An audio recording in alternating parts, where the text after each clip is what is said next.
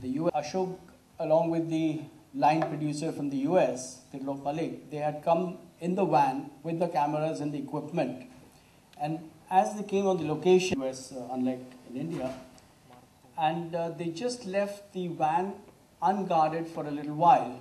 And by the time Ashokji came back with some other equipment, and this was a ARRI 3L, uh, ARRI 3 uh, BL, and uh, I got a call in the middle of the night. I was then in India and really worried about uh, the loss of uh, the camera and some of the other equipment. And he put cool. So I was trying to sort of find out how we're going to carry on with the shoot. And Ashokji, so he said that he would sort of work it out. Don't worry, we'll find another camera and all that. So he wrapped up the shoot and they came back to India. Uh, we sat together and I was really worried because this was one of the most expensive cameras and one of, at that point in time, one of the most, luckily the camera was insured. But insurance companies, as you know, can take forever and I wasn't even sure because uh, sometimes insurance company can find some fine worried. So Ashokji said, uh, you know, he did his homework and in a very difficult situation here, another camera, which are like remolded or uh, refitted cameras, which are very new, very good in customs, because those days, uh, you know, duties were very high, customs was uh, a big problem. This was Mehuna. And what he did was something really surprising. In crisis, you'd be worried as to how you're going to deal with these things.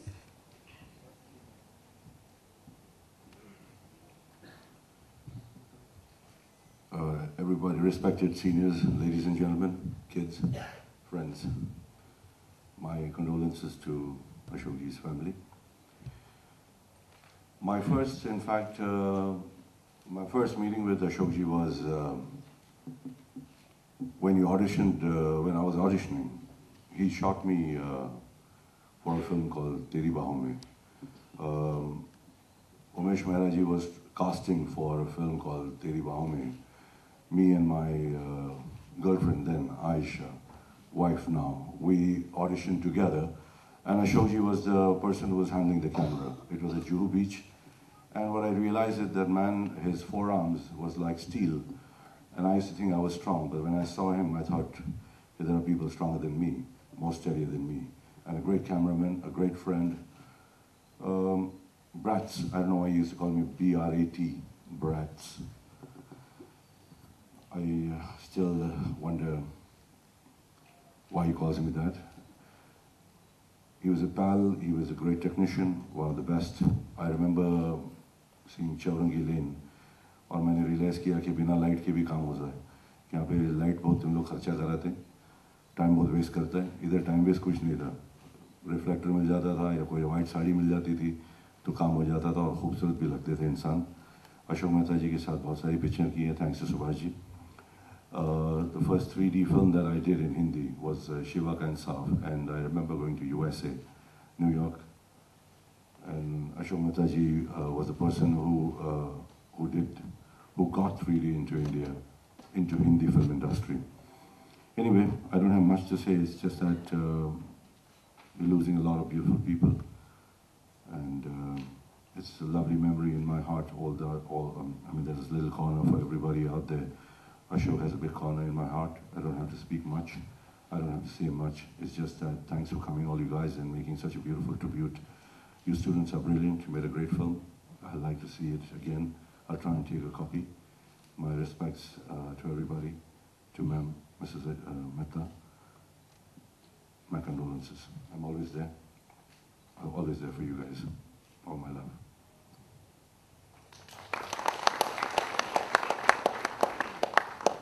Thank you, sir. Now we would like to call upon Mr. R. M. Rao, a well-known cinematographer in the advertising, documentary and feature film space, who was a close associate. Roll! Yeah, so tell us about Mr. Ashok uh, Mehta because we, uh, you guys are here paying tribute to Mr. Uh, Ashok Mehta.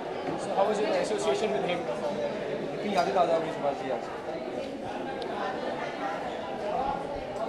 यार मैं चुप करा के हूँ sir कर दीजिए आप। एक मिनट मेरा मार्क हाँ मार मार के सर नहीं, करो।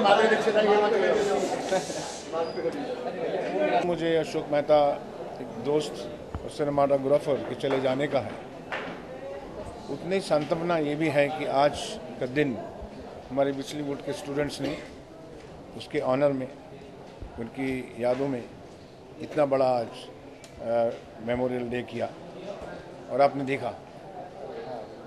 मुझे इस बात की खुशी है कि अब आने वाले समय में टेक्नीशियंस की भी एक रिस्पेक्ट होगी। आप जैसे फोटोग्राफर्स की भी होगी।